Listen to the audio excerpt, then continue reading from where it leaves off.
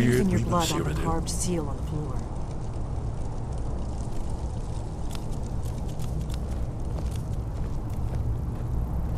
This whole place appears to be a shrine to Raymond. He ended the